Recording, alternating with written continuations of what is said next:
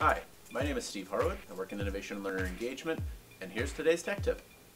Today we're going to be talking about Google Drive. Specifically, we're talking about Team Drive.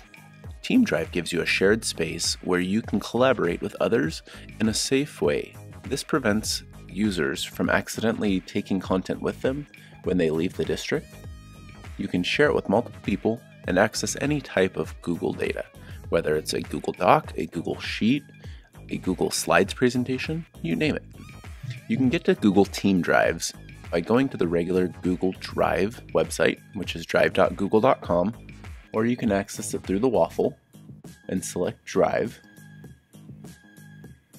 On the left hand side, you'll see My Drive and Team Drives. Team Drives is where we want to go today. I can create a new Team Drive and I can name it whatever I'd like. So I'm going to name mine Tech Tip, and you'll see that it pops up.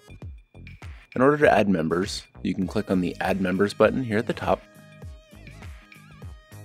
and I can share it with whoever I'd like inside of the domain and outside. So for example, if I wanted to share it with our Innovation and Learner Engagement Department, And you can also control what type of access they have from this point. You can allow them to edit, you can allow them to comment, or just view the files that are in there. I'm going to go ahead and give the account full access to it. And now you'll see ILE department has full access to this. Inside of this folder, I can create subfolders by right clicking and saying new folder.